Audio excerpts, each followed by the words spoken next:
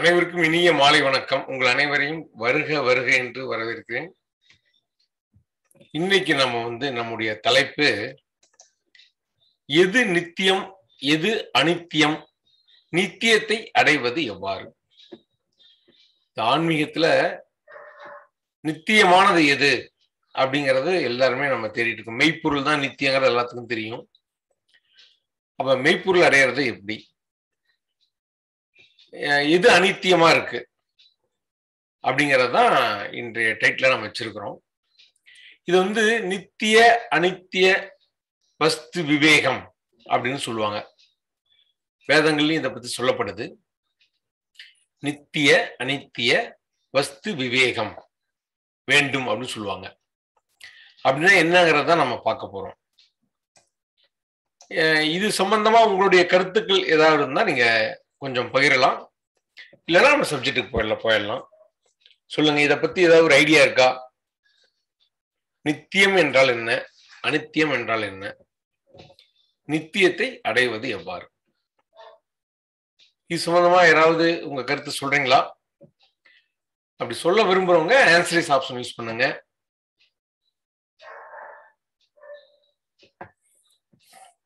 இல்லைன்னா நம்ம டாபிக்குள்ள நம்ம போயிடலாம்.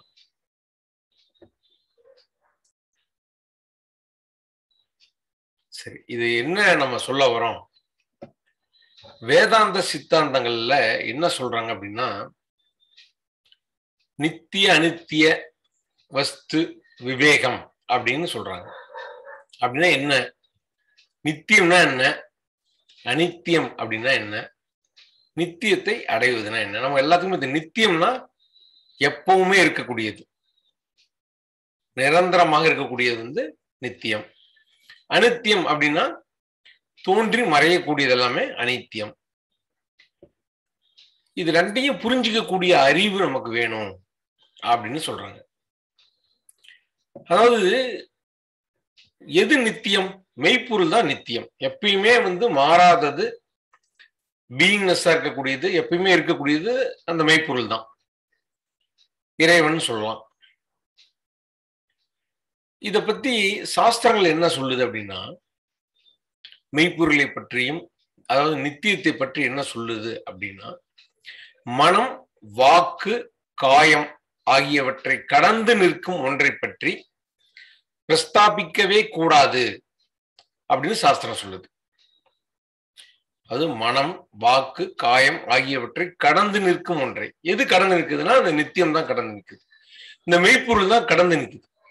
அந்த கடந்து நிற்கக்கூடியதை வந்து நம்ம வந்து அதை பத்தி பேசவே கூடாது. அது அதை நம்ம விவரிக்க கூடாது அதை அடையிறேன் இதை பண்றேன்னு சொல்லி விவரிக்கக்கூடியது தேவையற்றது அப்படின்னு சாஸ்திரங்கள் கூறுது. சாஸ்திரம் படிச்ச பெரிய பண்டிதர்கள் என்ன சொல்றாங்கன்னா நித்திய அனித்திய வஸ்து விவேகம் வேண்டும் அப்படிங்கிறாங்க. அப்ப இது என்ன இங்க எந்த அர்த்தத்துல நித்தியமானது எது? அனித்தியமானது எது என்பதை தெரிந்து கொண்டால் போதும். உலகம் அனித்தியமானது. உடல் அனித்தியமானது. நம்முடைய புலன்கள் அனித்தியமானது. அப்படிங்கிறத புரிஞ்சுக்கிட்டோம் அப்படின்னா அதன் மேல இருக்கக்கூடிய மோகம் வந்து ஏற்படாது. மோகம் ஏற்படாவிட்டால் என்ன ஆகும்? அதனால் ஏற்படக்கூடிய பந்தமும் பாசமும் ஏற்படாது. இதனாலதான் அவங்க என்ன சொல்றாங்கன்னா நித்திய அனித்திய வஸ்து விவேகம் வேண்டும் அப்படின்னு சொல்றாங்க. அது ரெண்டையும் பிரிச்சு புரிஞ்சுக்கிட்டோம் அப்படின்னா நிரந்தரமற்றது மேல ஒரு ஈர்ப்பு இருப்பா இருக்காது. அதனால் இருக்கக்கூடிய பந்தத்திலிருந்து விடுபட்டு இருப்போம். அதுதான் வந்து இந்த வாழ்க்கைக்கு தேவையானது அப்படிங்கிற மாதிரி அவங்க சொல்றாங்க. ஆனா அப்படி சொல்லும் போதே அவங்க நித்திய நித்திய வஸ்து அடைந்து விட்டவர்களை போல சொல்றாங்க. ஆனா அவங்க கூறும் பந்தமும் துயரமும் அவங்களை விட்டு போச்சான்னு பாத்தீங்கன்னா அப்படி போகல. அப்படின்னா நித்திய அனித்திய வஸ்து விவேகத்தை அவங்க அடையலையா? இல்ல அடைஞ்சிட்டாங்களா? நித்திய வஸ்து என்றால் என்ன? அனித்திய வஸ்து என்றால் என்ன? அப்படிங்கிறத நம்ம பார்க்கலாம். நித்திய வஸ்துனா வேற ஒண்ணும் இல்லைங்க. சத் சத் என்று சொல்லக்கூடிய பிரம்மம் அல்லது ஆன்மா இவையெல்லாம் வந்து நித்திய வஸ்து அப்படின்னு வேதங்கள்ல சொல்லி வச்சிருக்காங்க.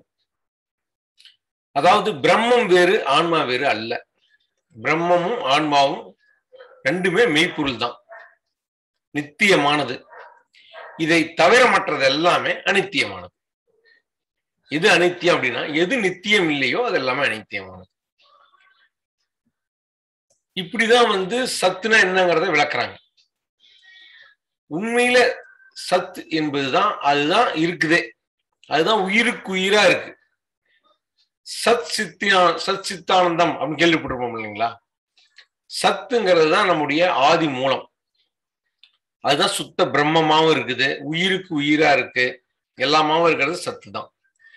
சத்தினுடைய வெளிப்பட்ட அம்சம் தான் சித்து சித்த அம்சம் தான் அறியும் அம்சம் அப்படின்னு சொல்றாங்க.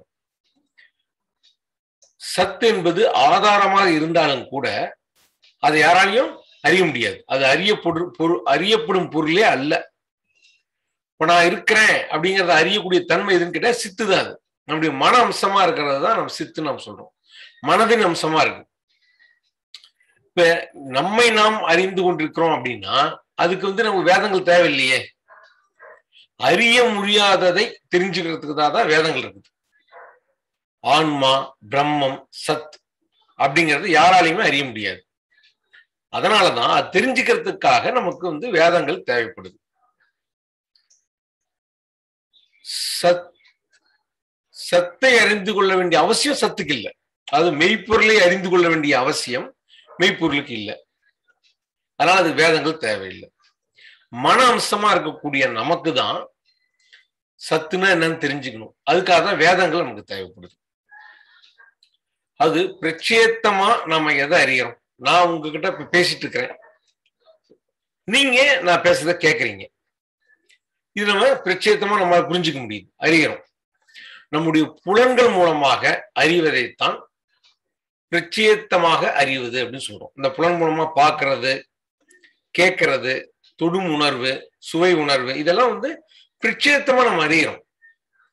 இததான் வந்து இப்படி புலன்கள் மூலமா அறிகிறது தான் பிரச்சரித்தமாக அறியறதுன்னு சொல்றோம். இப்படி வந்து இந்த ஐம்புலன்களை வச்சு பிரம்மத்தையோ இந்த சத்தையோ நம்மளால அறிய முடியுமா? ஆன்மாவையோ அறிய முடியுமா? ஏற்கனவே நம்ம பல மீட்டிங்ல நம்ம பேசிட்டோம். ஆன்மாவை இந்த புலன்களால அறிய முடியாதுன்னு பேசிட்டோம். வேதங்களும் அதுதான் சொல்லுது. அப்ப என்னன்னு கேட்டீங்கன்னா இந்த நித்தியத்தை அறியறதுக்கு வந்து அனுமானமா தான் நம்மளால புரிஞ்சுக்க முடியும் அப்படின்னு வேதங்களும் சொல்லுது. இப்ப புகையை வச்சு நெருப்பு இருக்குதுன்னு நம்ம கண்டுபிடிக்கலாம்ல. நெருப்பை நம்மளால பார்க்க முடியலன்னு வச்சுங்களேன் ஒரு நெருப்பினுடைய வெளிப்பாடா புகை வருதுன்னு வச்சுக்கோங்க. புகையை ஆதாரமா வச்சு நெருப்பு அங்க இருக்குன்னு நம்மளால சொல்ல முடியும். யூகிக்க முடியும். ஏன்னா நெருப்பு இல்லாம புகை ஏற்படுறதுக்கு சாத்தியம் இல்லை. அது மாதிரி பிரச்சேத்தமாக தெரியும். புகையை கொண்டு எப்படி பிரச்சேத்தமாக தெரியாமல் மறைஞ்சிருக்கக்கூடிய நெருப்பை தெரிஞ்சுக்கிற மாதிரி நாம் என்ன பண்ணலாம்னா சித்தம்சம் நமக்கு தெரியும். மன அம்சத்தை கொண்டு பிரச்சேத்தமாக தெரியாத சத்தம்சத்தை அது பிரம்மத்தை ஆன்மாவை யூகித்து கொள்ள முடியும். நம்முடைய நமக்கு உணர்வு இருக்கு. உணர்வோடு தான் நம்ம இருக்கிறோம். அந்த உணர்வு இருக்கிறது நமக்கு நம்ம அது வந்து பாத்தீங்கன்னா எப்ப உணர்வு இருக்கிறது தெரியுது? அது தூண்டப்படும் போதுதான் அதனுடைய வெளிப்பாடு தான் நமக்கு தெரிய தெரியுதே தவிர இந்த உணர்வினுடைய ஆதாரங்களே நமக்கு தெரியறதில்லை. நம்ம ஏற்கனவே பல தடவை நம்ம பார்த்துட்டோம். இப்ப நம்ம முழு ஆரோக்கியமா இருக்கிறது நம்ம இருக்கிறது தெரியாம இருக்கிறோம். நம்ம தொட்டாதான் நமக்கு நம்ம உடல் இருக்கிறது தெரியுது. அல்லது ஒரு உடல்நிலை கெட்டு ஒரு காய்ச்சல் ஏற்படுதுன்னு வச்சுக்கோங்க. அப்போ உடம்பு பாரமாகவும் சூடாகவும் இருக்குது. இப்ப ஆரோக்கியமா இருக்கிறப்ப நம்ம உடம்பு இருக்கிறதே நமக்கு தெரியறது இல்லை அப்ப இந்த உடலுடைய வெளிப்பாடு தான் நம்ம உணர்றமே தவிர நம்ம உடலை வந்து உணர்றதே கிடையாது. எப்படி வந்து ஒரு நாக்கு என்ன சுவையான உணவை போடுறோமோ அந்த சுவையை காட்டுதோ சுவையை காட்டக்கூடிய ஒரு அறிநிலையா இருக்கக்கூடிய உள்ள உணர்வினுடைய அடிப்படை இதா இருக்கக்கூடிய அந்த அறிநிலை நமக்கு தெரியறதில்லை.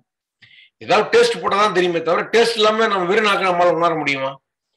அது மாதிரிதான் சித்து என்பது சத்தினுடைய வெளிப்பாடுதான். நம்ம உணர்வை வந்து உணர்வை உணர முடியுது. உணர்வுக்கு ஆதாரமானதை நம்மளால உணர முடியாது. அதை நம்ம புரிஞ்சுக்கிட்டோம் அப்படின்னம்னா நமக்கு நமக்கு ஆதாரமாக இருக்கக்கூடிய பிரம்மத்தையோ நம்முடைய அடிப்படையான அந்த சித்தம்சத்தையோ சாரி சத்தம்சத்தையோ நம்மளால புரிஞ்சுக்கவே முடியாது. இப்படிதான் சத் சித் அப்படிங்கறது விளக்கப்படுது.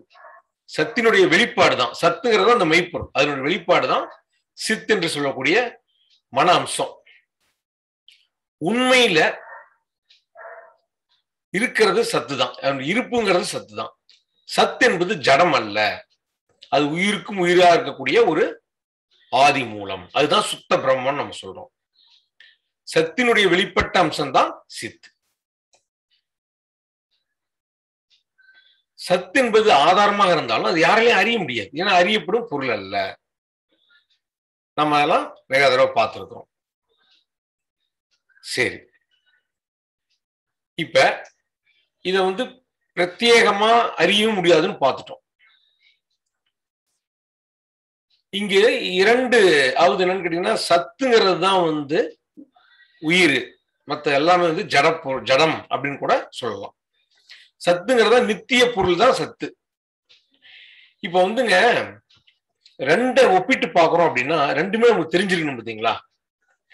நமக்கு வந்து நமக்கு சித்து நமக்கு தெரியுது. நமக்கு வந்து நம்ம உணர்றோம். நம்ம புலன் மூலம் புலன்கள் மூலமாக எத்தனையோ உடல் உணர்வுகளை உணர்றோம். மனசின் மூலமாக எத்தனையோ பிரச்சனைகளை உணர்றோம். இன்பத்தை உணர்றோம். துன்பத்தை துன்பத்தை உணர்றோம். எல்லாமே வந்து மனசை வச்சு உணர்றோம். நம்ம உணராத பகுதி எது? மெய்ப்பொருள் பிரம்மம். இதெல்லாம் நமக்கு தெரியல. கேள்விப்பட்டிருக்கிறோம். பட் வந்து பிரத்யேகமா நம்ம உணரல. இது வந்து அதுதான் நித்தியம் நம்ம சொல்றோம். அது எப்படி அறிஞ்சிக்கிறது? இப்ப உங்ககிட்ட ஒரு கேள்வி கேட்குறாங்க நீங்க மா வந்து மாம்பழம் சாப்பிட்டுருக்கீங்களான்னு கேட்கறாங்க சாப்பிட்டுருக்கிறேன் சொல்லுவான். சரி வித்தியாசமான ஒரு பழம் சொல்றாங்க. அந்த பழத்து பேரை சொல்லி நீங்க சாப்பிட்ருக்கீங்களான்னு சாப்பிட்ருக்கீங்களான்னு கேட்கறான்னு வச்சுக்கோங்க. உதாரணத்துக்காக மாதுளம் பழத்தை வச்சுக்கோங்க மாதுளம் சாப்பிட்டு நான் எதுவும் சாப்பிட்டதே இல்லைன்னு வச்சுக்கோங்க. உங்க பதில் வந்து இதுல சாப்பிட்டது இல்லைன்னு சொல்றீங்க. உங்களை வந்து மாம்பழத்தையும் மாதுளம் பழத்தையும் ஒப்பிட்டு ஒரு கற்று எழுதுங்கன்னு சொன்னா நீங்க என்ன பண்ணுவீங்க? உங்களுக்கு தெரிஞ்சது மாம்பழம் தான் தெரியும். மாதுளை பழத்தை பத்தி தெரியாது. தெரியாததை வச்சு நாம எப்படி நம்மளால ஒப்பிட முடியும்? இப்படித்தான் நித் அனித்தியம் எல்லாம் நமக்கு தெரியுது. அனித்தியத்தை நம்ம உணர முடியுது. நம்ம உணரக்கூடியது எல்லாமே அனித்தியம்தான். நித்தியத்தை நமக்கு எதுவும் தெரியாது. வேதங்கள் சொல்லியிருக்கு. அதை வச்சு நம்ம அனுமானிக்கிறோம். அப்படிதான் நம்ம இதில் தெரிஞ்சிருக்கோமே அனுமானம் மூலமா தான் நம்ம வந்து ஒரு யூகிக்கிறோமே தவிர பிரச்சயத்தமாக நம்ம வந்து யாருக்குமே யாருமே நித்தியத்தை நாம உணரவே இல்லை பார்க்கவும் இல்லை. ஒரு எல்லைக்குட்பட்ட அனித்தியம் மட்டுமே நம்ம அனுபவத்துல ஏற்படுது. அதுதான் நம்ம அனுபவமா வருது.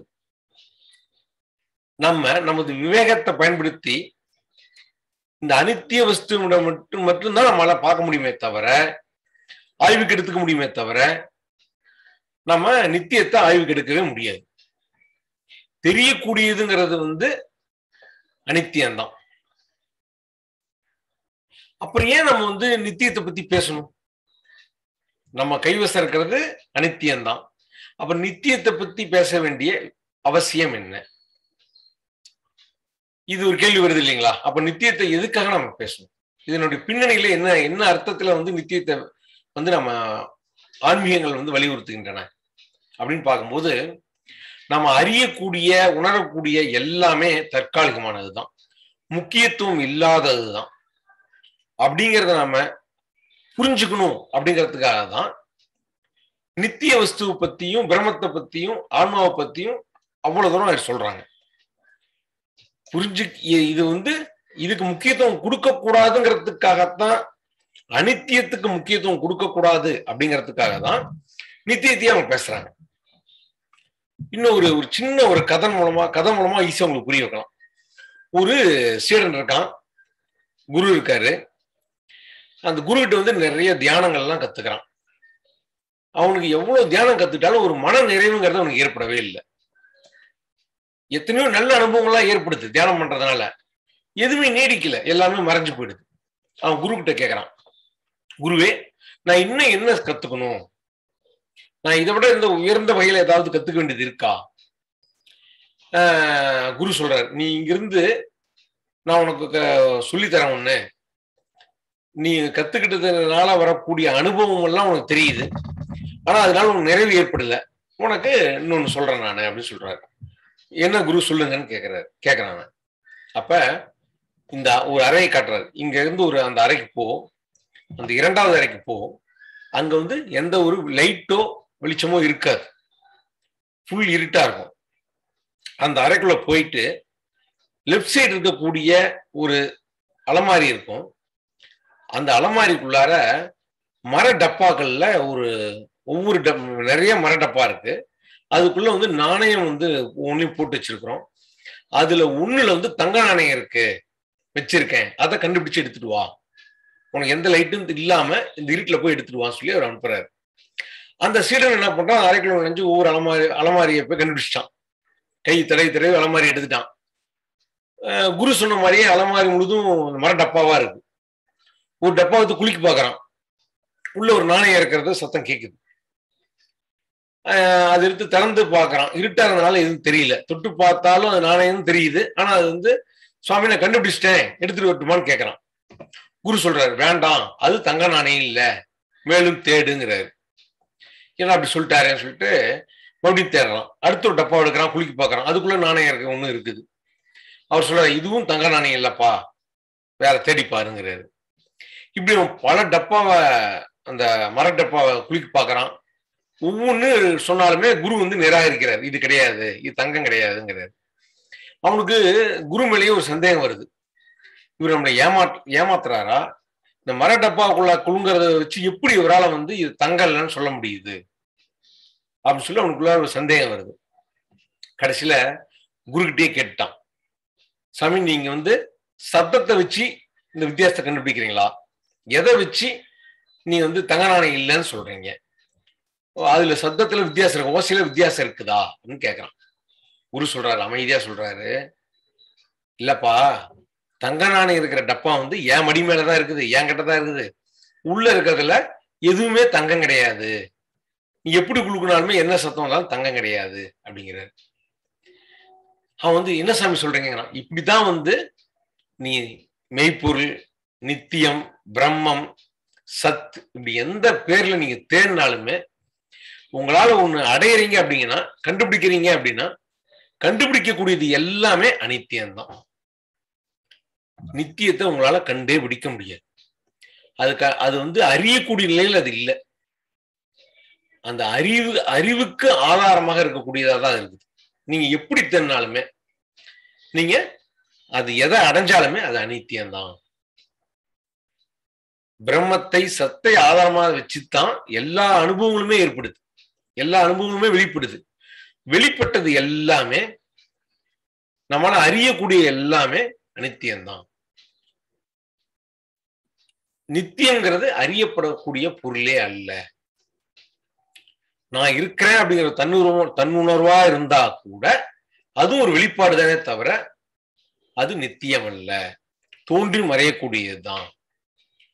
நித்திய அனித்திய வஸ்து விவேகம் அப்படிங்கிறது வந்து வெளிப்பட்டதையும் வெளிப்படாததையும் வித்தியாசப்படுத்தி அறியறது தான் இப்ப நம்ம எதை அறிஞ்சாலும் அது மெய்ப்பொருளா இருக்கிறதுக்கு சாத்தியமே கிடையாது. நம்ம அறியறது உணர்வா இருந்தாலும் சரி அனுபவமா இருந்தாலும் சரி எல்லாமே அனித்தியம்தான். நம்ம அறியக்கூடியது எல்லாமே நீங்க அனித்தியம்னு நீங்க முடி முடிவு பண்ணிட்டீங்கன்னா இப்ப அறிய முடியாதது தான் நித்தியம். இத புரிஞ்சுக்கிட்டா இந்த விவேகம் நமக்கு ஏற்பட்டுச்சுன்னா போதும்.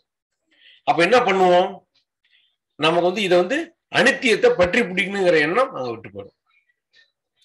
அதை பற்றி பிடிக்கவோ அப்புறப்படுத்தவோ தேவையே இல்லை. ஏன்னா வந்து நீங்க நித்தியத்தை பற்றி பிடிச்சாவோ மெய்ப்பொருளை பற்றி பிடிச்சாவோ பிரம்மத்தை பற்றி பிடிச்சாவோ நம்ம தக்க வச்சுக்கணும். நீங்க பற்றி பிடிக்கிறது எல்லாமே வந்து தோன்றி மறையக்கூடிய அனித்தியம் தான் தெரிஞ்சுக்கிட்டீங்கன்னா அதை பற்றி பிடிக்க வேண்டிய அவசியமே இல்லையே. அப்படி பற்றி பிடிக்க வேண்டிய அவசியம் இல்லைன்னு புரிஞ்சுக்கிறதுக்காகத்தான் நித்திய அனித்திய வஸ்து விவேகம் வேண்டும் அப்படின்னு சொல்றாங்க. ஒரு மரம் இருக்கு. மரத்தினுடைய நிழல் வந்து கீழே விழுவுதுன்னு வச்சுக்கோங்க. அந்த நிழலுக்கு நம்ம முக்கியத்துவம் கொடுப்போமா? அத அதை அது நிர்வாகம் பண்ணுவோமா? அது மாதிரி நமக்கு ஏற்படக்கூடிய அனுபவங்கள் எல்லாமே நிழலை நிழலை எப்படி நிர்வாகம் பண்ண மாட்டோமோ அது மாதிரி நம்ம நிர்வாகம் பண்ணாம விட்டா போதும். அங்க வந்து பிடி தளர்ந்தா போதும். நம்ம வந்து அதை அதை தக்க வச்சுக்கணும்னோ இல்லை அப்புறப்படுத்தணும்னோ இருக்கக்கூடிய போராட்டமும் முயற்சியும் தளர்ந்தால் மட்டுமே போதும். இதை தான் வந்து சம திருஷ்டி அப்படின்னு நம்ம சொல்றோம். இது இதை நம்ம புரிஞ்சுக்கிட்டோம். நம்ம எதை அடைஞ்சாலுமே அது அனித்தியம் தான் நீங்க புரிஞ்சுக்கிட்டீங்கன்னா அதுதான் சம திருஷ்டி. மனம் சமநிலையில் இருக்குதுன்னு நம்ம வந்து இங்கதான் சம திருஷ்டி நம்ம சொல்றோம். நித்திய அனித்திய வஸ்து விவேகம் என்பது சமஸ்திரு சம திருஷ்டியை தான் குறிக்குது. சமதிருஷ்டி ஏற்படுறத தான் நம்ம வந்து நித்திய அனித்திய வஸ்து விவேகம் நம்ம சொல்றோம். அது எப்ப ஏற்படும்னா நித்தியத்தை அடையவே முடியாது. அடையறதெல்லாமே அனித்தியம் தெரிஞ்சுட்டோம்னா அடையக்கூடியது எல்லாத்துக்கும் முக்கியத்துவம் கொடுக்க மாட்டோம். சம திருஷ்டியினுடைய நோக்கம் என்னன்னு பாத்தீங்கன்னா நம்முடைய அனுபவங்களை எதிர்த்து போராடாத தன்மைக்கு நம்ம வந்துருவோம் இந்த அனுபவம் நல்லா இருக்கு இந்த அனுபவத்தை தக்க வச்சுக்கலாம் இந்த அனுபவம் எனக்கு பிடிக்கல இதை அப்புறப்படுத்தலாம் அப்படிங்கிற போராட்டம் அங்க எதுவுமே இருக்காது. நம்ம மனசுல வரக்கூடிய எண்ணங்கள் அனுபவங்கள் எப்படியா இருந்தாலும் சரி சம திருஷ்டியோட பார்க்க ஆரம்பிச்சிடுவோம். எல்லாமே ஒண்ணுதான். எல்லாமே ஒரு நிழல் தான் எல்லாமே ஒரு ரிஃப்ளெக்ஷன் தான். அதை நம்ம வந்து எதிர்த்து போராடும் போது என்ன ஆகும்? எதுவுமே அங்கே தங்கி இருக்க போதில்லை நம்ம போராடுறதுனாலதான் அனுபவம் அனுபவிப்போம்ங்கிற ரெண்டு துண்டாயிரும். நீங்க எப்போ போராடலையோ அங்க அனு அங்க அந்த இடத்துல இருந்து அனுபவமும் பிரவாகமாயிடும் அனுபவிப்பும் பிரவாகமாயிடும். அப்படி ஒரு நிலையை தான் ஒரு புனிதமான ஒரு நிலைன்னு சொல்றோம். அதான் புனித பிரவாகம்னு கூட சொல்றோம். ஒரு தங்குதடை இல்லாத புனித பிரவாகமா இருக்கணும்னா நித்திய அனித்திய வஸ்து விவேகம் இருந்துட்டா போதும். நம்ம அடையிறது எல்லாமே அனித்தியம்தான். நித்தியம் பிரம்மம் ஆன்மா சத் மெய்ப்பொருள் என்ற பெயரில் நாம் எதை தேடி அடைந்தாலுமே அது அனித்தியமே. நம்ம அறியக்கூடியவை உணரக்கூடியவை அனைத்துமே அனைத்தியமே. அப்ப அறியவே முடியாதுங்கிறத மட்டும் தெரிஞ்சுட்டா போதும். அதை வந்து நமக்கு நம்மளுடைய அனுபவத்துக்கு வராது அப்படின்னு தெரிஞ்சுட்டோம்னாவே இருக்கிறத நம்ம விட பழகிக்குவோம் இருக்கிறத விடணும். இருக்கிறதோட முரண்படக்கூடாதுங்கிறதுக்காகத்தான் இந்த அறிவு நமக்கு வேண்டும். இதைதான் நம்ம ஒவ்வொரு வகுப்புலையுமே நம்ம சொல்லிட்டு இருக்கோம். நீங்க எந்த ஆன்மீக சாஸ்திரங்கள் என்ன சொன்னாலுமே அது எதை வலியுறுத்த தான் சொல்லுது. இதைதான் வெவ்வேறு குணங்கள் சொல்லிட்டு இருக்கு. இதை புரிஞ்சுக்கிட்டோம்னா அகம் எப்படி ஆயிடுதுங்க? ஒரு புனித பிரவாகமா மாறிடுது. அங்கதான் புனித பிரவாகங்கிறத நம்ம விடுதலைன்னு சொல்றோம். இந்த நிலையில வந்து நமக்கு எந்த ஒரு பிரச்சனையுமே தங்கறது இல்லை எதையுமே எளிதாக எளிதாக எதிர்கொள்ளக்கூடிய ஒரு தகுதிக்கு நம்ம வந்துடுறோம். இந்த வகையில நான் வந்து நித்திய என்றால் என்ன அனித்தியம் என்றால் என்ன அப்படிங்கறத வந்து நம்ம நித்தியத்தை அடையிறதுங்கிறது வேற ஒண்ணும் கிடையாது. இருக்கிறத விட்டோம்னா நித்தியத்தை அடையிறதுன்னு அர்த்தம்.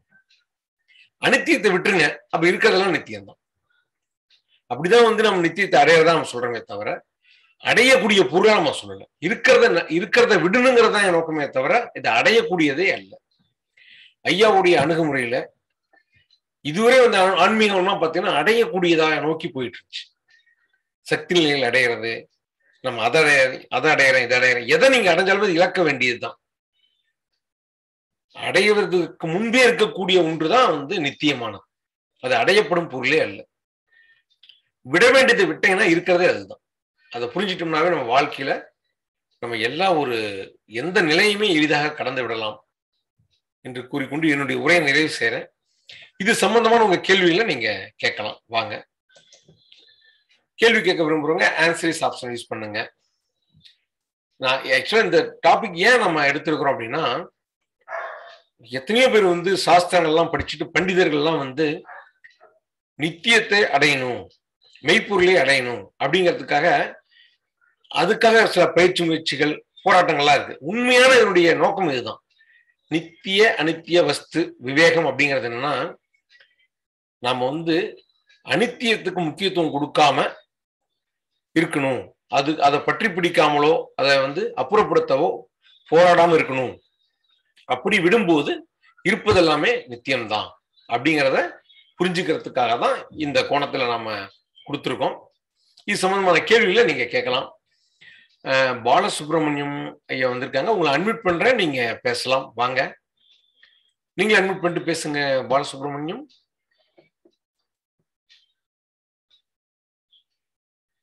ஆ பேசுங்க.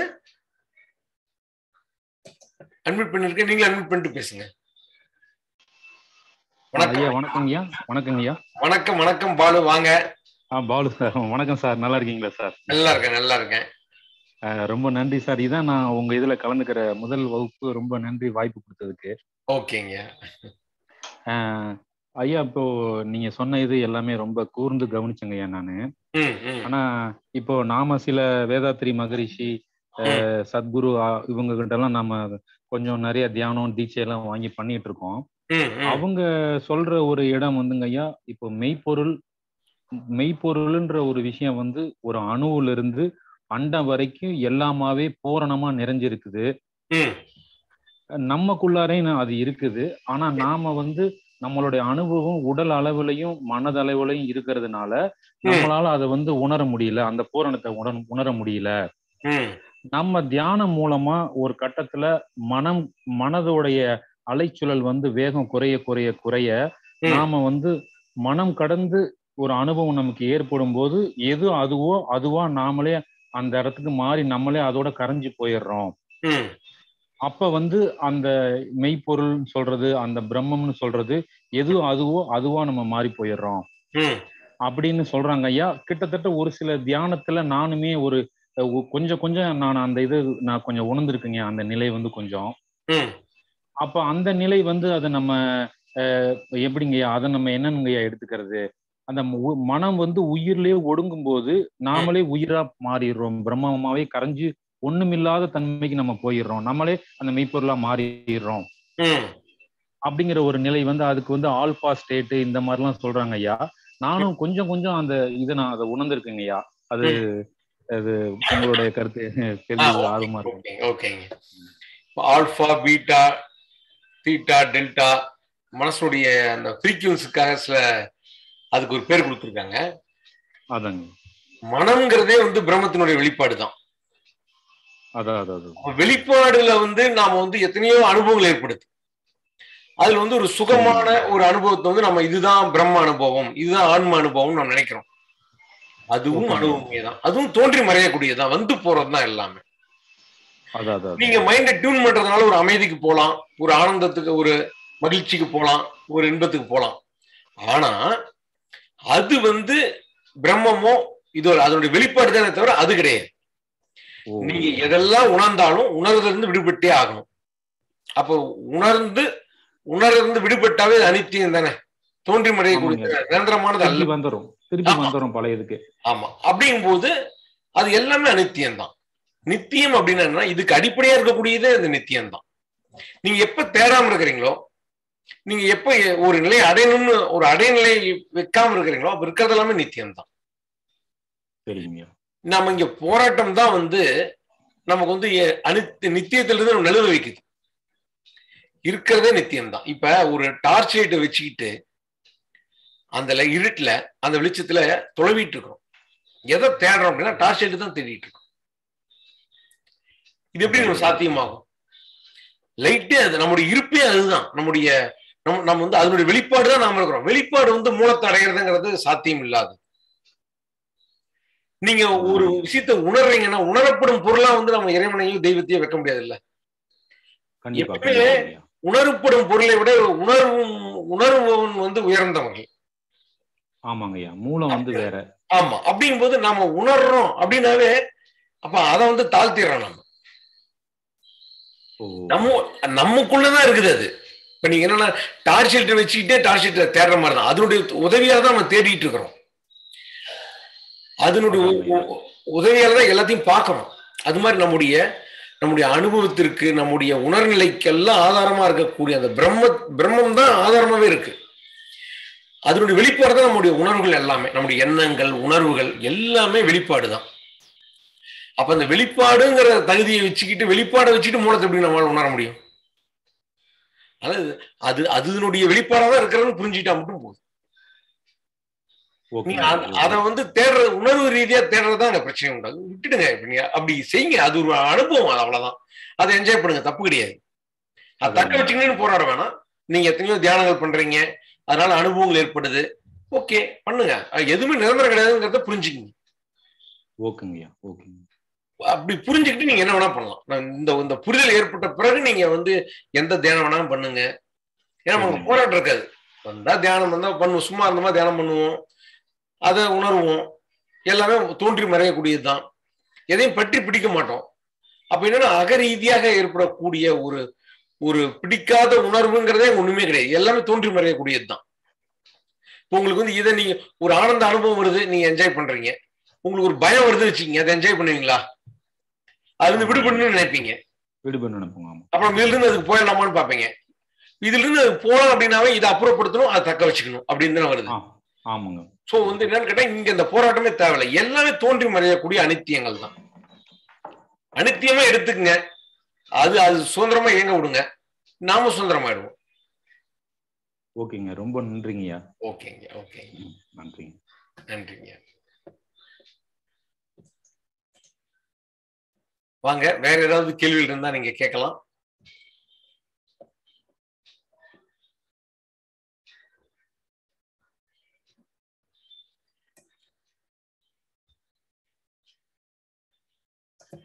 கேள்வி கேட்க விரும்புறவங்க ஆன்சரிஸ் ஆப்ஷன் யூஸ் பண்ணுங்க.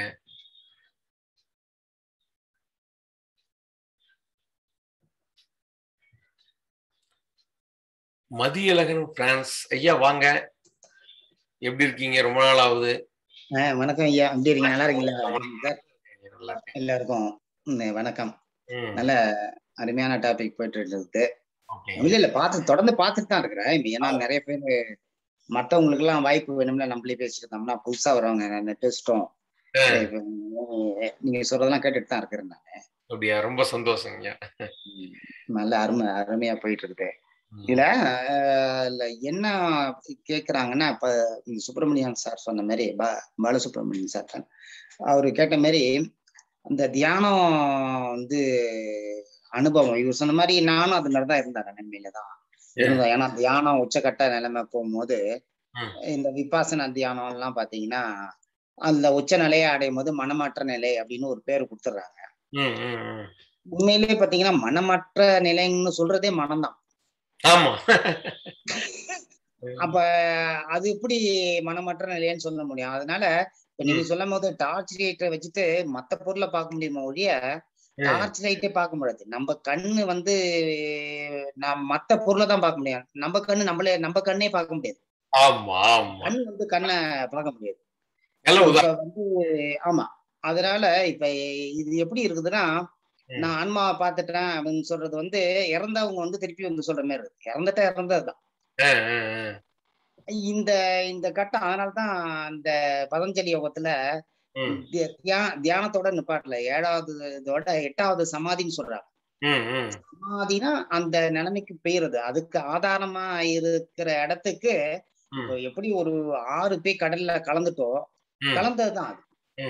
அது திருப்பி வந்தெல்லாம் சொல்ல முடியாது கடல்ல இருந்துட்டு நான் வந்து ஆறா இருக்கிறேன் அப்படின்னு எப்படி சொல்ல முடியும் உங்களுக்கு அது கடல் ஆனது கடல் ஆனதுதான். ஆனா நம்மளுடைய நிலைமை அப்படி இருக்குன்னா இப்ப இந்த ஞானத்துல இது இதுதான் இங்க ஐயாவோட உச்சக்கட்ட நிலை என்னன்னா ம், தியானத்தை தியானத்தை விடுன்னு சொன்னதே காரணம் என்னன்னா.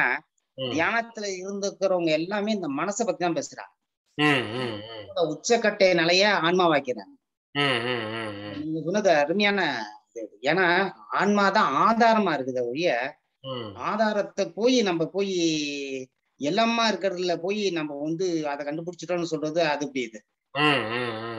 கொஞ்சமாவே வந்து நீக்க மரம் நிறைந்திருக்குது. எங்க பார்த்தாலும் நிறைந்திருக்கிறத போய் அதை நம்ம போய் நம்ம போய் அடைஞ்சிட்டோம்னா அது ஏதோ நம்ம கை கடங்கின மாரி ஆகுது. அதனால இது இந்த நிலைமை வந்து இந்த நிலைமை இந்த நிலை வந்து விடுதலை முக்தி மோட்சம் போது. அது இங்க என்ன நினைக்கிறாங்க எதுவே ஒண்ணு அடைய போறோம்னு நடிச்சிடுறாங்க உண்மையிலே அதுலதான் இருக்கிறோம் நம்ம. கடல்ல இருந்துட்டு. கடல்ல தேடுற மாதிரி ஒரு மீன் கடல்ல இருக்குதுன்னா. அது வந்து நான் கடல்ல தேடுற மாதிரி அந்த இதாதான் இருக்குது. இது ஆன்மீகத்துல இப்ப நீங்க பேசுறது வந்து உச்சக்கட்ட நிலை அது. ஆனா அதுல வந்து எல்லாமே சரி இது சிம்பிளா இப்படி இருக்கவும் அவங்க எதுவும் அடையணும் அடையணுங்கிற அந்த நோக்கத்துல தான் இருக்காங்க. ம், ம். நம்ம தான் வந்து இங்க அடையிறது எதுவுமே கிடையாது. எதை விடத்தான சொல்றோம். விடணும்னு கூட சொல்றல அதுலதான் இருக்கிறோம் நம்ம. அந்த விடுதலையில தான் இருக்கிறோம். அடையணுங்கிறத விடணும் அவ்வளவுதான். வேற ஒண்ணும் இல்ல. ஆமா. அடையறதை விட்டுணும். அடையறதை விட்டுட்டோம்னா நம்மளுக்கு என்ன என்ன எதுல எதுக்கு ஆதாரமா இருக்கிறோம்ங்கிறத புரிஞ்சிக்க தான் முடியும். அதுல வந்து ஆன்மாவை போய் நம்ம உணர்றது ஆன்மாவை போய் பார்க்கிறது இல்ல நான் கடவுள் நிலையை அடையிறது ஒரு நிலையை அடையிறதுங்கிறது வந்து திருப்பி போயிட்டு நம்ம திருப்பி இந்த மனதான் காட்டுது மனதோட இது மாய நிலை தான் சொல்லும். மயக்க நிலைன்னு தான் சொல்ல முடியும். உச்சக்கட்டைய உச்சக்கட்ட நிலையை அடையிறது வந்து ஒரு நல்ல வெயில்ல போய் வெயிலா இருக்கிற சமயத்துல ஏசி ரூம்ல போயிட்டு வர்ற மாதிரி தான். இந்த மனமற்ற நிலை எண்ணமற்ற நிலை. அப்படின்னு.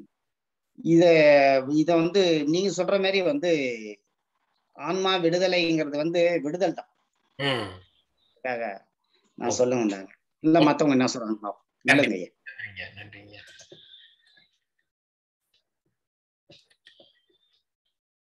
மாயை அப்படின்னா மாயை அப்படின்னா பொய் கிடையாது.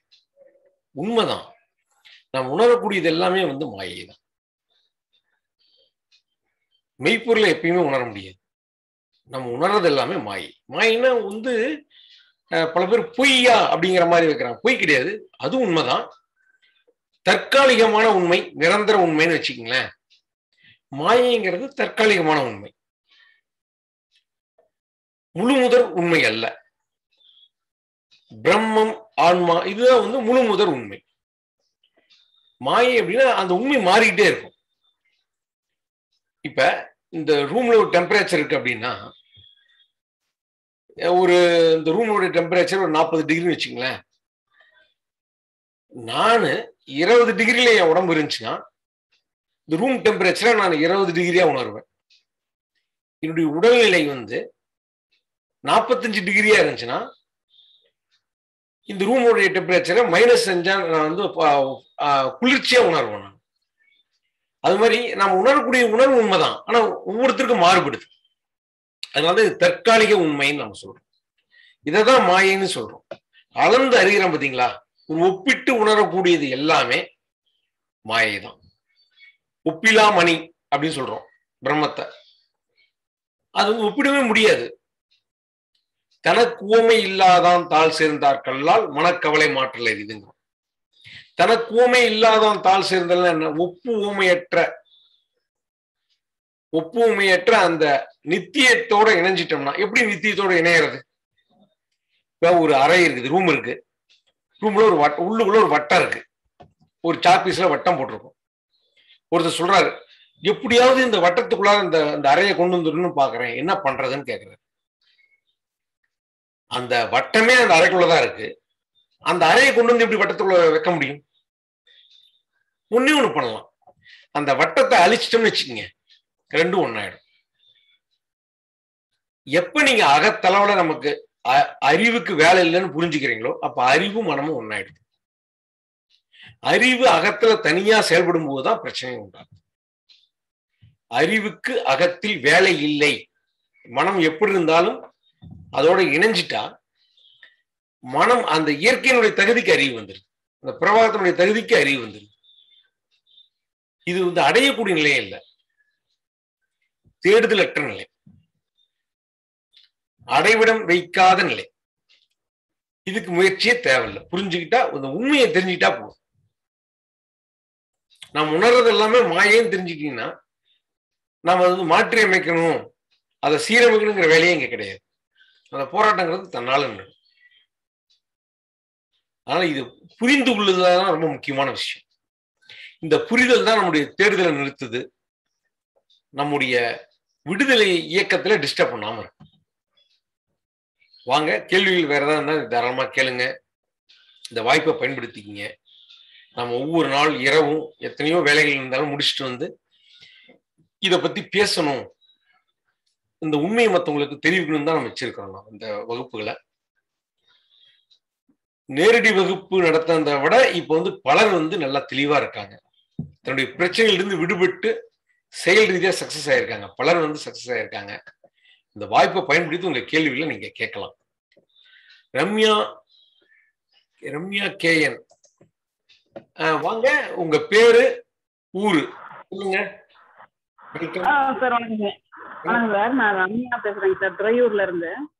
துறையூர்ல இருந்து ரம்யா. ஆ சொல்லுங்கம்மா. சார் இப்ப நமக்கு இந்த புரிதல் ஏற்பட்டுருச்சுங்க புரிதல் ஏற்பட்டுருச்சு நமக்கு வந்து இந்த அனுபவம் இது வெறும் அனுபவங்கள் தான். இந்த அனுபவங்கள் வந்து வெளிப்பாடு தான் அப்படிங்கிறத நம்ம புரிஞ்சுக்கிறோம்.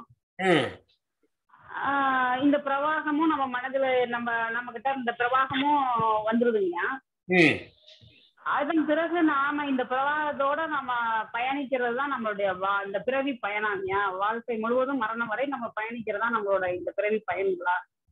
இல்ல இதை தாண்டி நம்ம வேற வேற ஏதேனும் நமக்கு இலக்குன்னு இலக்குன்னு நீங்க ஒண்ணு இல்லைன்னு சொல்லிட்டீங்க. புரிஞ்சுக்கணும்னு சொல்லிட்டீங்க. நம்ம புரிஞ்சுக்கிட்டோம். இல்ல நான் கேக்குறது வந்து இந்த பிரவாகத்தோடயே நம்ம நம்மளுடைய மரணம் வரை நம்ம பயணிப்பது தான் நம்மளுடைய இலக்கா நம்மளுடைய நோக்கமா? அப்படிங்கிறது என்னோட கேள்விங்க ஓகே ஓகேங்க வாழ்றதுதான் வாழ்வினுடைய நோக்கம். நம்ம வாழ்வினுடைய நோக்கம்னு ஒண்ணுமே கிடையாது. வாழ்றதுதான் வாழ்வினுடைய நல்ல முறையில வாழ்றதுதான் வாழ்வினுடைய நோக்கம். விடுதலையோடு இன்னும் சொல்லணும்னா ஆன்மீக ரீதியா சொல்லணும்னா இந்த விடுதலையோடு வாழ்றதுதான் வாழ்வினுடைய நோக்கமே. முக்திதான் வாழ்வினுடைய நோக்கம். முக்தியோடு வாழுதல். இதுதான் வாழ்வினுடைய நோக்கம். இது வந்து நமக்கு வந்து அகத்தளவுல எந்த ஒரு அடைவிடமும் கிடையாது. ஆனா புறத்துல வந்து பாத்தீங்கன்னா நம்ம வந்து எப்பயும் அடைவிடங்கள் இருக்கு. நம்ம வந்து மற்றவங்களுக்கு உதவியா நம்ம வாழ்க்கை நம்ம குடும்பம் தர்ம நியாயத்துக்கு உட்பட்ட நம்முடைய வாழ்க்கையை வந்து மற்றவர்களுக்கு உதவியாக ஒரு நல்ல முறையில வாழணும் அப்படிங்கிறத வச்சுக்கிங்க. அதுக்கு தேவையான அளவு நம்ம ஏன் பண்ணணும். அதெல்லாம் தேவையானது தான் இதெல்லாம் புறத்துல வந்து அது நிரந்தரமான அடைவிடம் கிடையாது. ஒவ்வொரு அடைவிடமா மாறிட்டே இருக்காது. அதை பண்ணுங்க. அதுக்கான முயற்சி எடுங்க. உள்ள சுமத்தாம வேலை செய்யுங்க. உள்ள விடுதலையோட இதுதான் வாழ்க்கை நோக்கமே. இந்த அகத்தில் அடையிறதெல்லாம் வந்து நிலையான நிர்வாகம் பண்றது தான் அது தேவையற்றது. முக்தியோடு வாழ்ந்தது தான் வாழ்வினுடைய நோக்கம். ஓகே.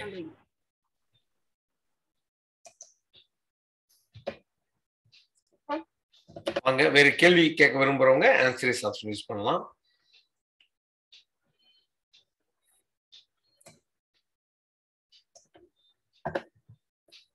சுப்பிரமணிய ஐயா வந்திருக்காங்க. வாங்க ஐயா உங்களை அட்மிட் பண்ணிருக்கேன் நீங்க பேசலாம் ஐயா அனைவருக்கும் வணக்கம். வணக்கம். ரொம்ப ஹையஸ்ட் பிலாசபி இதுதான் ஹையஸ்ட் பிலாசபி இதை விட வேற பிலாசபியே கிடையாது. உண்மைதான் ஐயா உண்மைதான் கண்டிப்பா. ரொம்ப புரிஞ்சுக்க வேண்டிய ஹையஸ்ட் பிலாசபி முன்னாடி பழைய பிரசிடென்ட் டாக்டர் ராதாகிருஷ்ணன் இருந்தாரு. அவர்லாம் இதே மாதிரி தான் பேசுவாரு. இதுதான் புக்கெல்லாம் எழுதுவாரு. அது முன்னாடி ஒரு நாற்பது வருஷத்துக்கு முன்னாடி. ரொம்ப சிம்பிள் நீங்க சொன்னது. புரிஞ்சுக்கிட்டா ரொம்ப நல்லா இருக்கும் ஆமாங்க ஆமாங்க. நீங்க சொல்றது இதோட உயர்வை புரிஞ்சுக்கிட்டோம்னு வச்சுங்களேன் இதுதான் இருக்கிறதுலே ஹை எண்டான விஷயம். ஆமா. நீங்க ஆன்மா தான் நித்தியம் இல்லையா? ஆமாங்கய்யா ஆன்மா பிரம்மம் எல்லாமே வந்து அது இடத்தை பொறுத்து பொருள் மாறுது. அது பேர் மாறுதே தவிர எல்லாமே ஒண்ணுதான். அதுதான் நித்தியம். எல்லாம் ஒண்ணுதான். ஆமா ஆன்மா பிரம்மம் மெய்ப்பொருள் சித் சத் சத் அப்படிங்கிறது எல்லாமே ஒரே பொருளை தான் குறிக்கும். சரி சரி. நித்தியத்தோடு இணைவது என்பது. புரிதல் புரிதல் தானே? ஆமா புரிதல் தான் அவ்வளவுதான். புரிஞ்சுக்கிட்டா போதும். தேர்தல்னு போயிடும். அப்ப நித்தியத்தோட தான் இருக்கிறோம் நாம. எப்படி இந்த ஒரு ரூம்ல இருக்கக்கூடிய வட்டத்துல எப்படி இணையறதுன்னா அந்த கோட்டை அழிச்சிட்டா போதும். அங்க பிரிவினை இல்லைன்னா ஆமா ஆமா. அதுதான் மனசுல வந்து அறிவு தான் அந்த பிரிவினை உண்டாகுது. இது நல்லது இது கெட்டது இதை நான் தக்க வச்சுக்குவேன். நான் இப்படிதான் இருப்பேன். அப்படின்னு உள்ளுக்குள்ள வந்து உணர்வுகளோடையும் எண்ணங்களோடையும் போராடக்கூடிய அறிவு தான் அந்த பிரிவினையை உண்டாக்குது. அறிவு போராடலைன்னா அறிவு வேற ஆமா, ரெண்டும் ஒரே தகுதிக்கு வந்துருது இல்லைங்களா? அதுதான். ஆமா ஆமா.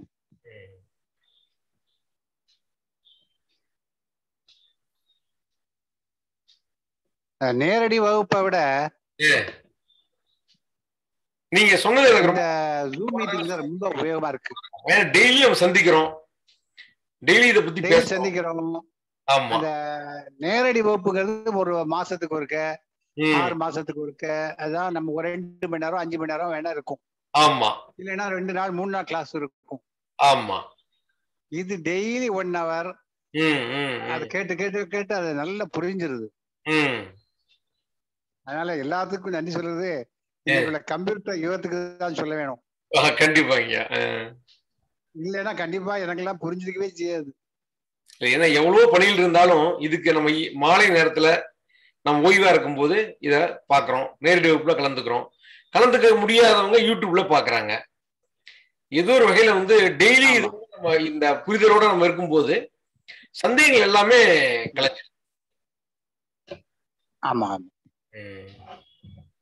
அடுத்தது இந்த நித்தியம் ஆஹ், ஆன்மா இதெல்லாம் சயின்டிபிக்கா ப்ரூவ் பண்ணணும்னா.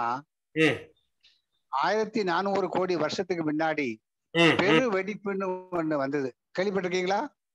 தெரியுங்க இந்த பிசிக்ஸ்ல சொன்னாங்கல்ல. அந்த பெரு வெடிப்பு தான் பிரம்மம்னு எனக்கு தோணுது. அந்த பெரு வெடிப்புக்கு முன்னாடி எதுவுமே இல்ல.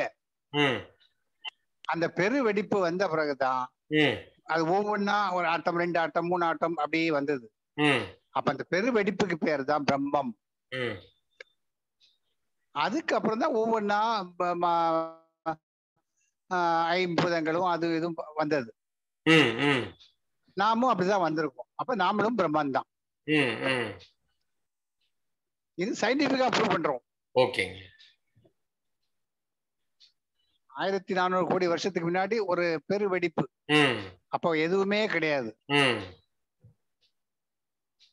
அந்த அது நாம இன்னைக்கு இருக்கிறது? அந்த அம்சம். அப்ப நம்மளும் பிரம்மன் தானே. ஆமா எல்லாமே பிரம்மத்தினுடைய வெளிப்பாடு தான் அப்ப இது ம், ம். நம்ம நம்ம பெரியவங்க எல்லாம் உணர்ந்து சொன்னாங்க. இந்த பிரம்மம் எல்லாம்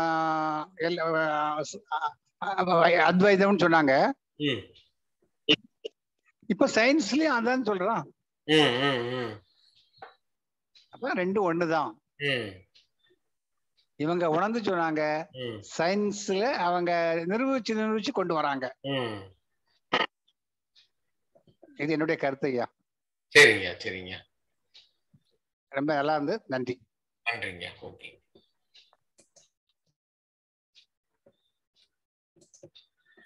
சார் வாங்க. உங்களை அட்மிட் பண்ணிருக்கு நீங்க அட்மிட் பண்ணிட்டு பேசுங்க. சார் ஒரு நிமிஷம். இந்த இப்ப ஐயா சுப்பிரமணிய சொன்ன மாதிரி இந்த நித்தியம் அனித்தியம் இதுக்கு வந்து இப்ப எனக்கு என்ன தோணுதுன்னா நாம வந்து நித்தியம் இல்லைங்களா? மனுஷன் வந்து நித்தியம் அனித்தியம் இந்த உடல் அனித்தியமா இருக்குது. ஆனா அந்த இது எல்லா படைப்புலயும் வந்து நித்தியம் அனித்தியம் இருந்துட்டு தானே இருக்குது. ஒரு ஒரு சாதாரண ஒரு பொருள் ஒரு மரம் இருந்தா கூட அது அழியக்கூடியதா இருந்தா கூட அது அழிஞ்ச பிறகு மண்ணுல தானே போகுது. அதாவது இப்ப அந்த பஞ்சபூதங்கள் நம்மளால் படைக்கப்பட்டது கிடையாதுங்களா? நம்ம முன்னாடியே அது தோண்டி இருக்குது இல்லைங்களா அப்ப அதை வந்து நம்ம அனித்தியமா எடுக்க முடியும். அழியக்கூடியது எல்லாமே நித்தியமா இருக்க முடியும். அனித்தியமா இருக்க முடியும். அழியாதது வந்து அனித்தியமா நித்தியமா இருக்குது. இப்ப நம்ம உடல் பாத்தீங்கன்னா இது வந்து அழியக்கூடியது இல்லைங்களா? எப்படி பார்த்தாலும் ஒரு விதத்துல அழிஞ்சிடுது. ஆனா அழியக்கூடாத ஒண்ணு நம்ம உடம்புலயே தானே இருக்குது. நம்ம வந்து அ- அனித்தியமா இருந்தா கூட நித்தியம் ஒண்ணு உள்ள இருந்துட்டு தானே இருக்குது. இப்ப ஓஷ்ட கூட சொல்லுவார் காணப்படாததை ஆதாரமாக கொண்டே காட்சியளிப்பவை இருக்கின்றன அப்படிம்பாரு. ம், இப்ப வந்து அனித்தியம் நித்தியத்தை ஏன் பார்க்க முடியலங்கும் போது இல்லாத ஒன்று இருப்பதற்கு ஆதாரமா இருக்கு. எது. இல்லாததோ. ஆனா அது இல்ல. அந்த காட் இஸ் நத்திங் சொல்றாரு புத்தர் சொல்றாருன்னா அவர் கடவுள் இல்லைன்னு சொல்லல. கடவுள் வந்து இல்லாத நிலைமையில இருக்கிறார். ஆனா இருக்குது. அது வந்து இல்லாதது போல் தோணுது. அத வந்து நம்மளுடைய மனதை கொண்டோ அறிவை கொண்டோ அஹ், பார்க்கிற அளவுக்கு அது இல்லை. ஆனா இல்லாதது இருக்கிறதுக்கு ஆதாரமா இருக்குது ம், நித்தியம் வந்து அனித்தியத்துக்கு ஆதாரமா இருக்கு அதனால நம்ம இல்லைன்னு சொல்ல முடியாது. நம்ம இப்ப நம்ம ஒரு எல்லா எல்லாத்துலயும் ரெண்டுமே கலந்துருக்கிற மாதிரி எனக்கு தோணுது. எந்த பொருள் எடுத்தாலும் அதுல நித்தியம் அனித்தியம் இருக்கிற மாதிரியே தோணுது. இது என்ன சரிங்களா அது?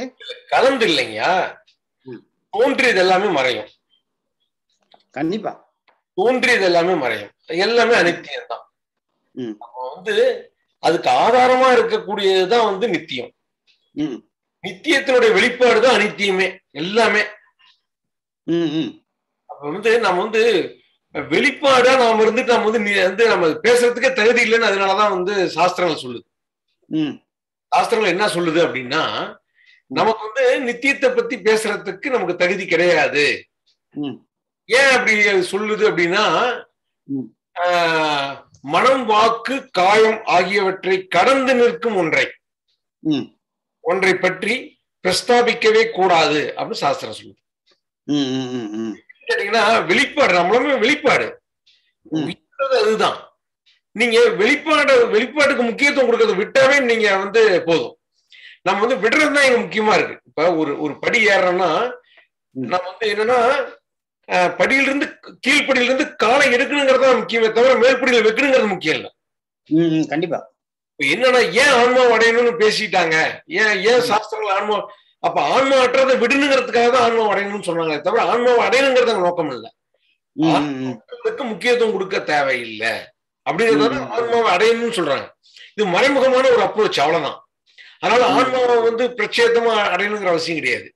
ஆன்மா மற்றாத அட்- ஆன்மா அல்லாத அனாத்மாவை நம்ம முக்கியத்துவம் கொடுக்கறத விட்டுறணும். எல்லாமே அனாத்மா தான் நம்ம நம்ம அனுபவிக்கிறது எல்லா அனுபவமும் அனாத்மா தான் முக்கியத்துவம் கொடுக்காம விட்டா மட்டும் போதும். இல்ல ஏன் அது கலந்து இருக்குதுன்னு சொல்ல வரேன்னா நமக்குள் நமக்குள்ளே அதானே இயங்குது. அதுவும் நம்மளுடைய மன உடல் மன இயக்கத்துக்கு ஒரு. கலந்து இருக்குதுன்னா ரெண்டு. ஒண்ணு. ஒன்று கலக்குதுன்னு சொல்லலாம். கலக்கவே இல்ல. அதனுடைய வெளிப்பாடு தான் இது. ஆமா வெளிப்பாடுங்கிறப்ப அது கலக்குதுன்னு சொல்ல முடியாது இல்ல நம்ம. தண்ணியும் கலந்தா அது ரெண்டு பொருள் கலக்கிறோம்னு ஆகுது ரெண்டு இல்லையே. ஒண்ணுதான் இருக்கு. இருக்கிறது எல்லாமே நித்தியம்தான். அதனுடைய வெளிப்பாடு தான் தோன்றி மறைஞ்சிட்டு இருக்கு. அதோட வெளிப்பாடு தான் நம்மள உடல் மனம்னு வச்சுக்க முடியுங்களா? ஆமா நம்ம உடல் மனம் எல் இந்த உலகம் எல்லாமே வெளிப்பாடு தான். வெளிப்பாடு. நாம என்னன்னா வெளிப்பாடுக்கு முக்கியத்துவம் அகத்தளவுல வெளிப்பாடுக்கு முக்கியத்துவம் கொடுக்காம விட்டா போதும். நீங்க எப்ப வெளிப்பாடுக்கு முக்கியத்துவம் கொடுக்கலையோ அதுதான் விடுதலை. கண்டிப்பா. நல்லது. நல்லது. ஓகேங்க ஓகே. Okay thank you. நன்றிங்க. வாங்க இன்னொரு ஐந்து நிமிடம் இருக்கு. கேள்வியில் கேள்விகள் இருந்தா நம்ம கேட்கலாம். இது ஒரு ஆரோக்கியமான ஒரு சத்சங்கம் விவாதம். இல்ல உண்மையை பற்றி நாம் தெரிஞ்சுக்கிறதுக்கு. இது ஒரு வாய்ப்பு. அதனால வேற யாருக்காவது கேள்விகள் இருந்தா கூட நீங்க கேட்கலாம். இன்னொரு ஐந்து நிமிடத்தில் நாம வந்து நிறைவு பண்ணிடலாம். வாங்க.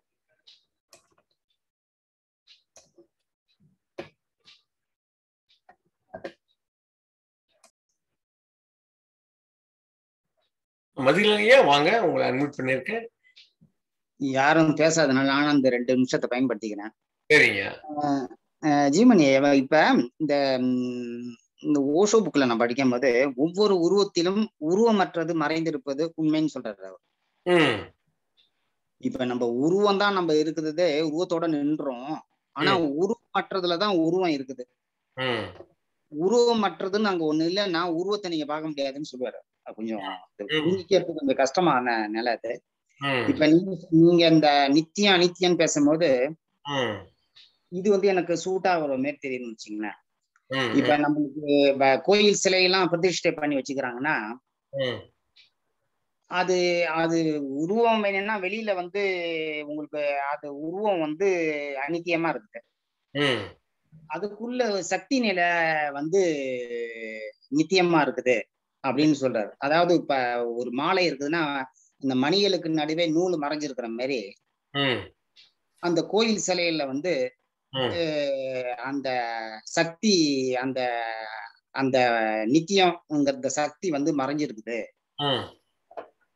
அதனால ஒரு அவர் என்ன ஒரு இதுல கொடுக்குறாருன்னா ஒவ்வொரு உருவத்திலும் உருவமற்றது மறைந்திருக்கிறது. அப்படின்னு சொல்ல வர்றாருன்னு வச்சுங்களேன் ஏன்- ஏன்னா நீங்க நித்தியம் அனித்தியம் அதுக்கு சொல்ல புரியுது. நீ அதோட ஒப்பிடுறத விட நீங்க சொல்றதுல பாத்தீங்கன்னா உங்களுக்கு வந்து ஒரு வெளிச்சமே தெரியுது இருள் இருந்தாதான் வெளிச்சத்துக்கே வெளிச்சமே தெரியுது. ம். இருளும் வெளிச்சமும் கலந்ததுதான் எல்லா உருவமுமே எல்லா காட்சியுமே. கண்டிப்பா. நீங்க சப்தம் தோன்ற இடம் மௌனம் தான் ம்.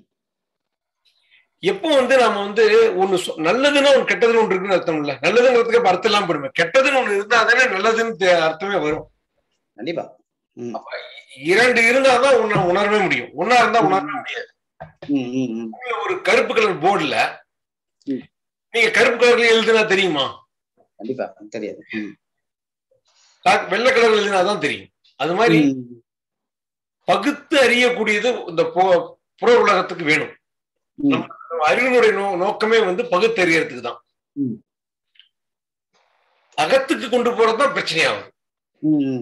உள்ள எல்லாமே ரிஃப்ளெக்ஷனா எடுத்துக்கணுமே தவிர நல்ல உணர்வு கெட்ட உணர்வு எடுத்துக்க தேவையில்ல. அகத்துல வந்து சமசிருஷ்டி தான் வேணும். கண்டிப்பா. சமசிருஷ்டி எப்போ வரும் அப்படின்னா நாம வந்து இந்த புரிதல் ஏற்பட்டாதான் வரும்.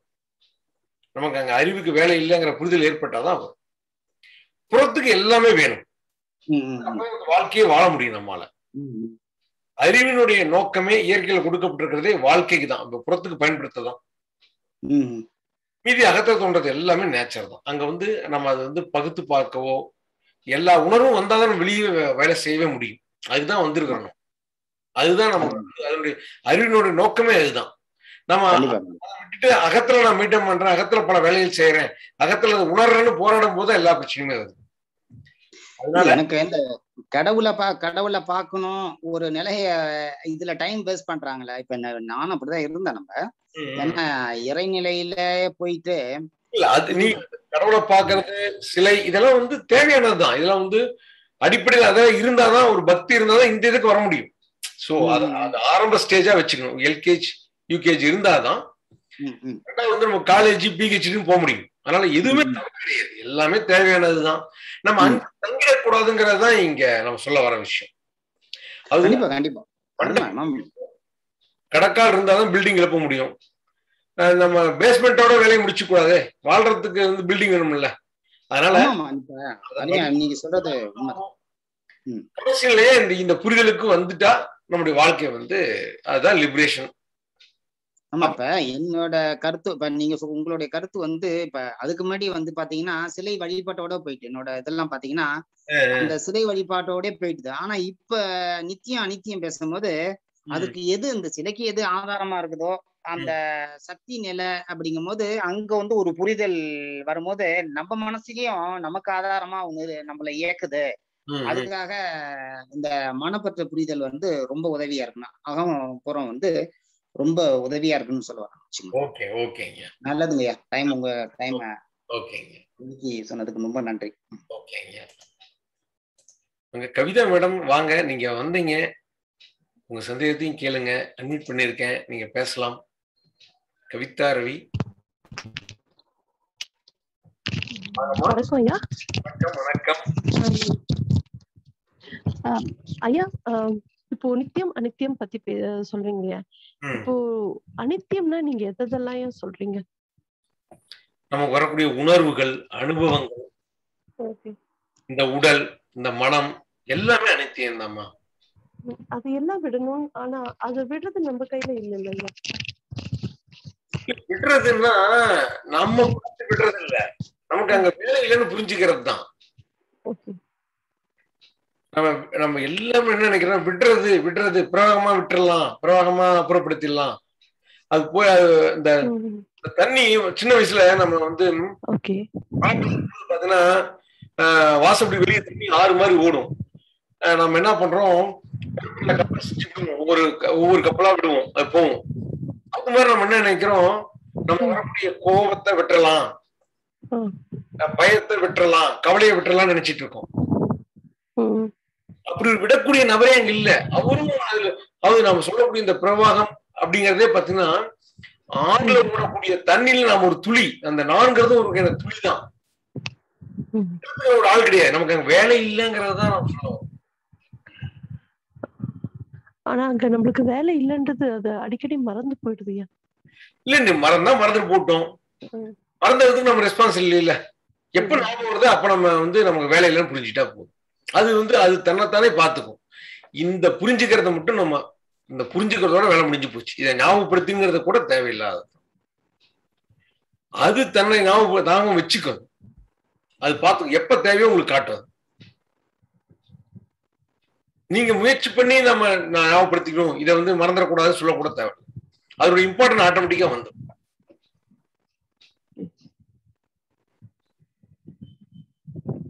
ஒரு டைம்ல இப்போ வந்து சுச்சுவேஷன் அக்செப்ட் பண்ணிக்கணும். இந்த சுச்சுவேஷன் அப்படின்றது சில சமயத்துல தெளிவா தெரியுதுயா?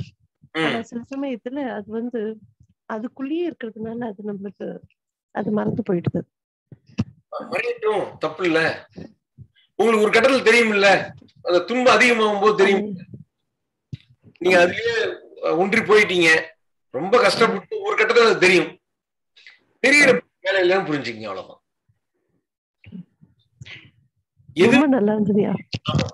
சொல்லுங்கயா எதுவுமே அப்ப வந்து நம்ம வேலை இல்லைன்னு புரிஞ்சுட்டா போதும் ஒரு சமயத்துல ரொம்ப நல்லா இருக்கியா? அந்த மாதிரி அக்செப்ட் பண்ணிட்டு அந்த சுச்சுவேஷன் அக்செப்ட் பண்ணிக்கும் போது அந்த ஐயா அ- புரியுதுல்ல நம்மளுக்கு அந்த டைமென்ஷன் நல்லா இருக்கு. புதுசு புதுசா அப்போ எப்படி அப்ரோச் பண்ணும்? ரொம்ப ஃப்ரீயா இருக்கு. ஃப்ளை பண்ற மாதிரி இருக்கு. நல்லா இருக்கு. ஆனா அப்போ அந்த அக்செப்டன்ஸ் அது அது அனுபவிச்சதுக்கு அப்புறமா. அது வந்து மைண்ட் எப்ப பார்த்தாலும் அதையே எக்ஸ்பெக்ட் பண்ணுது. அதே மாதிரியே இருக்கணும். இது நல்லா இருக்கு இது கஷ்டமா இருக்குன்னு சொல்றோம்ல. எல்லாமே கலந்தது தானே இப்ப நான் வந்து நல்லா இருக்குதுன்னு அதை அதை தக்க வைக்க பாக்குறோம் நம்ம கத்துக்கிட்டு நம்ம புரிஞ்சுக்கிட்டதே என்ன புரிஞ்சுக்கிட்டோம்? எதையுமே தக்க வைக்க முயற்சி பண்ண தேவையில்ல அப்புறப்படுத்தவும் முயற்சி பண்ண தேவையில்ல அப்படிங்கிறத புரிஞ்சுக்கிட்டோம். அப்படி புரிஞ்சுக்கிட்டதுனால ஏற்படக்கூடிய விளைவை தக்க வைக்க பாக்குறோம் அதுதான். அதுக்கு நீங்க அதுவும் தன்னா நடந்தா விட்டுருங்க. அது தன்னால மனசு கேக்குது. மனசுல போனதுனால தன்னாலே மனசு கேக்குது. அது மனசுக்கு தான் கெட்டு போடும். கேட்காம இருந்தா சரி. சில சமயத்துல அந்த ஒரு அக்செப்டன்ஸ் ஒரு சுச்சுவேஷன் ஹேண்டில் பண்ணும்போது ஃபுல் அக்செப்டன்ஸ் கிடைக்கும் போது ரொம்ப நல்லா இருக்கா. அப்போ எப்படி இருக்குன்னா ஓகே நம்ம தான் எல்லாம் அடைஞ்சிட்டோன்ற ஒரு அந்த கர்வம் வேற சேர்ந்து வருதுயா வெயிட் வருதுயா அது நல்லா தெரியுது. இனிமேல் பார்த்து கத்துக்கிறதுக்கு ஒண்ணுமே இல்லைன்ற மாதிரி ஒரு ஒரு அகங்காரம் வருது பார்க்க முடியுது. அகங்காரம் கர்வம் அது கூட தன்னால வந்தா வந்துட்டு போட்டோம் நீங்களா கொண்டாதீங்க வந்தா அதுவும் போயிடும். ஆக்சுவலா ஐயாட்டே நான் வந்து ஆரம்பத்துல ஐயா நீங்க சொல்ற இந்த அண்டர்ஸ்டாண்டிங் வந்து ரொம்ப அபாரமா இருக்கீங்க இது வந்து இவ்வளவு நாளா இது தெரியாம தான் வந்து இததான் நம்ம ஞானம்னு தெரியாம தான் பல பேர் வந்து போராடிட்டு இருக்காங்க. இவ்வளவு பேர் போராடுறதுல நமக்கு தெரிஞ்சதுனால ஒரு பெரிய விஷயம் தானேங்க நமக்கு. இதனால ஒரு ஈர்ப்பு வந்துடாதா கர்வம் வந்துடாதா அப்படின்னு என்ன சொல்லணும். இங்க வந்து முடியலங்கிறத தான் புரிஞ்சுக்கிறோம். நம்மளால முடியல கையறலையே தானே புரிஞ்சுக்கிறோம். இதுல எப்படி போய் கர்மம் வரும்? எதுவுமே நம்மளால சக்சஸ் பண்ணிட்டீங்கன்னா நீங்க சாதிச்சிட்டேன்னு கர்வப்படலாம். அகத்துல தோத்து போய் உட்கார்ந்து இருக்கிறோம் இங்க வந்து நம்ம அந்த அந்த தோத்து போனதுனாலதானே நம்ம விடுதலையாகி நிக்கிறோம் நம்ம. இந்த வெற்றி வந்து வாசப்படியில வராதும் பாரு ஐயா. பின் வாசல் வழியா தான் வரும். நீங்க எதிர்பார்க்கிற ஊர்ல அது கிடைக்காது. எந்த எதிர்பார்ப்பும் இல்லாம நீங்க எதுனாலும் ஓகேங்கும் போது அந்த வெற்றி கிடைக்கும். அதனால இது. வந்தாலும் சரி. இது ஒன்னா சரி தன்னால வந்து தன்னால போயிடும். நமக்கு அங்க வேலை இல்லை. கரெக்ட்யா தேங்க்யூயா தேங்க்யூ ஸோ மச்யா ரொம்ப நன்றியா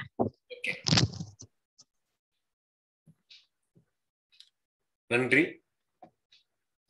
இன்றைய சத்சங்கத்துல கலந்துக்கிட்ட உங்கள் அனைவருக்கும் என்னுடைய நன்றியையும் வணக்கத்தையும் தெரிவிச்சுக்கிறேன். வணக்கம்.